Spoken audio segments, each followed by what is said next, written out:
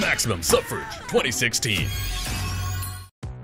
It has not been easy for me. And, you know, I, I started off in Brooklyn. My father gave me a small loan of a million dollars. I came into Manhattan.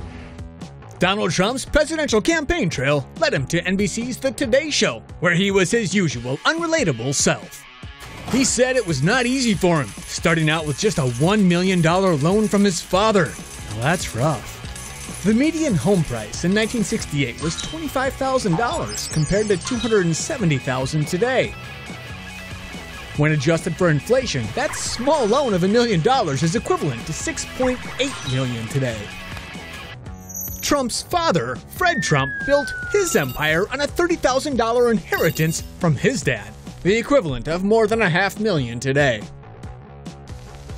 Fun fact the Donald's grandfather, Friedrich Trump, made his fortune running brothels during the gold rush. What this means is Donald Trump isn't a liar, he's delusional. The Republican frontrunner thinks he had it rough, but he doesn't have a clue what rough is. Trump grew his real estate empire from 1 billion in 1988 to 4 billion today. That is the 300% increase. Not too bad until you compare it to the S&P 500, which returned 600% over that same time period.